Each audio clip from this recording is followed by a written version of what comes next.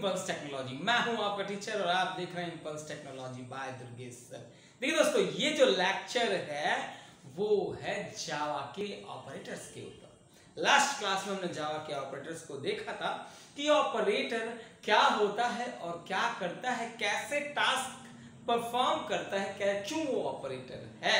यानी अगर ऑपरेटर के बारे में थोड़ा सा और जानना है तो आप पीछे के लेक्चर में जाओ और ऑपरेटर्स को पढ़ो। तो उसमें आपको मिलेगा कि आप अर्थमेटिक और असाइनमेंट ऑपरेटर पढ़े हो। यानी कि और भी ऑपरेटर्स पीछे हम पढ़े हैं। आज के लेक्चर में हम जो पढ़ने जा रहे हैं, वो है हमारा logical operator and conditional operator and relational operator का थोड़ा बहुत ओवरव्यू रिलेशनल ऑपरेटर भी थोड़ा बहुत साथ साथ में रहेगा। तो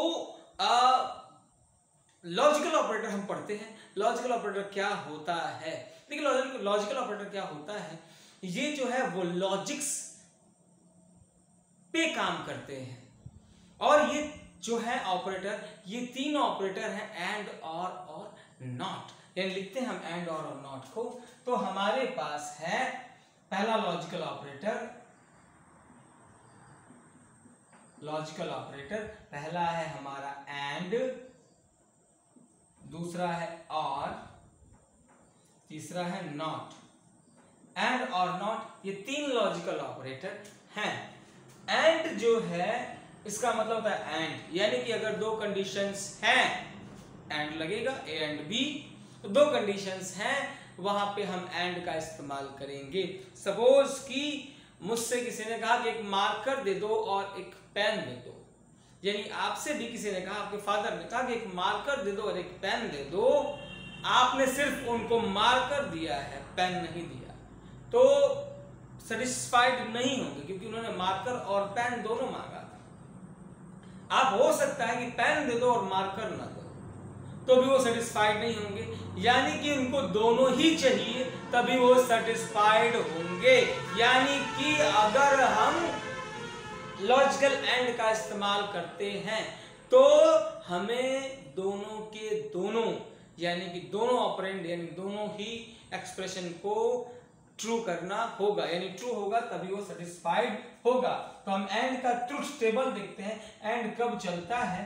तो एंड एंड को सिंबल क्या होता है लॉजिकल एंड का? तो ये एंड का सिंबल होता है दिस वन क्लियर है? मेरे पास दो ऑपरेंड हैं। यानी एक है ए और दूसरा है बी और यहाँ पे हम इस्तेमाल करेंगे ए एंड बी अगर ए वन है और बी ज़ीरो है तो ये क्या हो जाएगा? मार्कर मिला पेन नहीं मिला तो ये ज़ीरो नॉट सेटिस्फाइड ये ज़ीरो है ये वन है नॉट सेटिस्फाइड ये दोनों ज़ीरो है, ज़रूरी है नॉट सेटिस्फाइड लेकिन ये दोनों वन है, दोनों मिल गया तो ये क्या हो जाएगा? सेटिस्फाइड हो जाएगा, यानी ट्रू हो जाएगा। तो एंड सिर्फ़ एक ही केस में ट्रू होता है, जब दोनों ही कंडीशन ट्रू होते हैं। और इनको लॉजिकल क्यों कहते हैं? लॉजिकल मतलब कि अगर यहाँ वन है सॉरी ज़ीरो है तो ये ऑटोमेटिकली जान जाएगा कि ये जो है कंडीशन वो फॉल्स हो गई है। यानी ये भी ज़ीरो तो फॉल्स हो गई है। दैट्स वाइज हम लॉजिकल कहते हैं लॉजिकल एंड तो एंड के केस में अगर दोनों ऑपरेंड अगर ट्रू हैं तो ये जो है, वो ऑटोमेटिकली ट्रू हो जाएगा। नेक्स्ट हमारे पास है और ऑपरेटर इसी को मैं और में कन्वर्ट करता हूँ। और ऑपरेटर के लिए हम पाइप सिंबल का इस्तेमाल करते हैं। इसका पाइप सिंबल का इस्तेमाल करते हैं। यहाँ और कर देते हैं। यानी कि अगर आपके पापा ने कहा है कि पेन ले आओ या और पेन लाओ और मार्कर लाओ। यानी कि उसमें से कोई एक भी उनको मिल जाएगा तो वो चलेगा। यानी ये वन है और ये ज़ीरो है, यानी पेन मिला है और मार्कर नहीं मिला तो भी ये ट्रू हो जाएगा सेटिस्फाइड होगा, इस केस में भी सेटिस्फाइड होगा।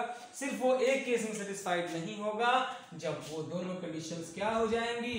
ज़ीरो हो जाएँगी। यानी और में सिर्फ़ एक कंडीशन जो है वो फेल करती है, जब दोनों के दोनों हमारे ऑपरेंड एक्सप्रेशंस ज़ीरो हो जाते हैं, तब। नेक्स्ट है हमारे पास नॉट ऑपरेटर नॉट ऑपरेटर में अगर x और नॉट x नॉट ऑपरेटर को एक्सक्लेमेशन से बनाते हैं नॉट ऑपरेटर अगर x वन है तो ये ज़ीरो हो जाएगा और ये ज़ीरो है तो ये वन हो जाएगा. तो ये था हमारा लॉजिकल ऑपरेटर जो कि लॉजिक्स को इम्प्लीमेंट करता है लॉजिक्स को चेक करता है. नेक्स्ट हमारे पास एक ऑपरेटर है जिसका नाम है रिलेशनल ऑपरेटर क्या है? रिलेशनल ऑपरेटर तो हम रिलेशनल ऑपरेटर देखेंगे। फ़िलहाल रिलेशनल ऑपरेटर रिलेशन आइडेंटिफाई कराते हैं। यानी रिलेशंस को बताते हैं। तो क्या होते हैं? रिलेशनल ऑपरेटर देखते हैं। रिलेशनल रिलेशनल में होता है आपका greater than greater than equals to less than less than equals to equals to and not equals to greater than हमेशा चेक करता है कि कंडीशन क्या ट्रू है या फॉल्स है, यानी A equals to a equals to ten and b equals to two क्या ए बड़ा है बी से? अगर बड़ा है तो ये ट्रू हो जाएगा, ऐसे ही ए बड़ा है या बराबर है बी के तो बड़ा है लेकिन बराबर नहीं है। C इक्वल्स टू टेन क्या ए बड़ा है? सॉरी ए बड़ा है या बराबर है सी के तो बड़ा तो नहीं है, लेकिन सी है दैट्स वाई ये भी ट्रू हो जाएगा। क्या a लेस है b के क्या a b से छोटा है? नहीं। तो ये फॉल्स हो जाएगा, ये ट्रू ये ट्रू ये फॉल्स हो जाएगा। ऐसे ही a लेस देन और इक्वल्स टू c तो यहाँ पे a छोटा तो नहीं है सी से, लेकिन जो है सी के इक्वल है। तो ये क्या हो जाएगा? ये भी जो है, ये भी देखिए सारे लेक्चर्स जो है आपको पीछे मिल जाएँगे। रिलेशनल की थोड़ा सा मैं रिवीजन के लिए इसे इंप्लीमेंट कर रहा हूँ। तो यहाँ पे देखिए तो ये जो है ए सी से छोटा नहीं है, लेकिन बराबर है दैट्स वाई ये भी ट्रू हो जाएगा। A equal equals to B क्या ए बी के इक्वल है? इक्वल नहीं है ए बी के दैट्स वाई ये क्या हो जाएगा? फॉल्स हो जाएगा। A equal equals to A equal equals to C क्या ए इक्वल है सी के यस ए सी के इक्वल है। दैट्स वाई ये क्या हो जाएगा? ये ट्रू हो जाएगा। A not equals to B एकदम सही है। क्योंकि ए बी के इक्वल है ही नहीं दैट्स वाई ये ट्रू हो जाएगा। A equal not equals to C A C के इक्वल है, ये कंडीशन जो लिखी हुई है, ये गलत है। तो ये है हमारा लॉजिकल ऑपरेटर और लॉजिकल ऑपरेटर क्या करता है? लॉजिक्स को, जिसे मैंने बताया चेक करता है। सॉरी रिलेशनल ऑपरेटर ये रिलेशन को चेक करता है। तो इनमें से ये ऑपरेटर है। हम एक छोटा सा जो है प्रोग्राम करेंगे। किस पे? तो हम प्रोग्राम करेंगे। लॉजिकल एंड रिलेशनल को मिला के, यानी कि मैं एक प्रोग्राम करूँगा, जिसमें ये चेक करूँगा कि क्या मतलब जिसमें चेक मतलब बताऊँगा मैं कि क्या एक्सप्रेशन कैसे लिखते हैं। यानी कि मुझे लिखना है, देखना है a equals to two B equals to three and c equals to five देखना है इसमें से बड़ा कौन है, या a और b में ही मुझे चेक करना है, बड़ा कौन है। तो मैं लिखूँगा a ग्रेटर देन बी अगर a ग्रेटर देन b है तो ए का आउटपुट दिखा दे। अदरवाइज़ क्या करे? तो बी का आउटपुट दिखा दे। क्लियर है? तो इसलिए हम इस्तेमाल करते हैं का। अगर तीन है हमारे पास variable A equals to two B equals to three and C equals to five और चेक करना है कौन सा ग्रेटेस्ट है? तो A greater than B and A greater than C, यानी ए बड़ा होगा बी से और ए बड़ा होगा सी से तो ए बड़ा है, ठीक है? अदरवाइज़ बी को चेक करेंगे, फिर सी को चेक करेंगे। वैसे ये छोटा सा एग्ज़ाम्पल जो था, वो मैं कल इंप्लीमेंट करूँगा, कल इसे चलाया जाएगा। आज के लिए इतना ही है। आप देखते रहिए, हमारे साथ बने रहिए। हम जावा के प्रोग्राम्स को इम्प्लीमेंट करते रहेंगे। थोड़ा थोड़ा प्रोग्राम करते रहेंगे और प्रोग्राम प्रैक्टिकल करते रहेंगे।